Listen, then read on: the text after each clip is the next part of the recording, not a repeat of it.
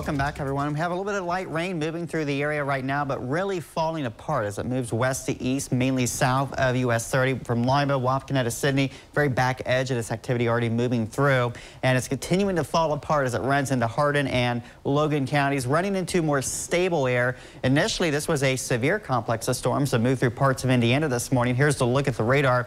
Over the past four hours, we saw that cluster move in from the west and now pretty well falling apart as it moves into the Buckeye State. But we look behind it, we start to see some clearing. So those clouds that we have now and really for much of the morning, we've had clouds hindering our ability to warm and the ability to get the atmosphere to become unstable. But we're going to start to work on that a little bit here. You notice from Fort Wayne and off to the west, there is some sunshine breaking out. So we'll start to see a little more sunshine this afternoon, which will create the chance as a front starts to move in as well. That'll be a trigger that will try to get a few storms to, develop here.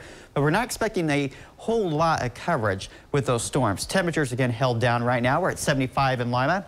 We have 75 in Fort Shawnee as well as Elida. Looking at temperatures up to the north here. A little bit warmer in the upper 70s because we don't have that rain up to the north, so it's a little bit warmer there. And then down to the south, we are kind of rain cooled now in the lower 70s there around Fort Loramie there. We have 74 in New Knoxville. So looking at our forecast moving forward through the afternoon, the forecast models are not too uh, too uh, robust here with storms, but a few isolated to widely scattered showers and storms can be expected to develop this afternoon. So if you have outdoor plans, just keep an eye to the sky and, of course, uh, keep an eye on the radar as well with our app. You can notice here through the afternoon at 3 o'clock, more sunshine developing, allowing temperatures to warm up, but we see the storms kind of few and far between. We're under that marginal risk here between now and sunset that any storm could produce some strong winds, but otherwise, again, it looks like as we get towards the evening, 6, 7 o'clock, a lot of that's going to move out. And then tomorrow, we are looking at a dry day for Tuesday with temperatures in the 80s, a slight drop in humidity tomorrow. But watch what happens on Wednesday. Boy, the heat is going to come roaring in here with a high of 93, and that's going to come with a heat index that could go over 100.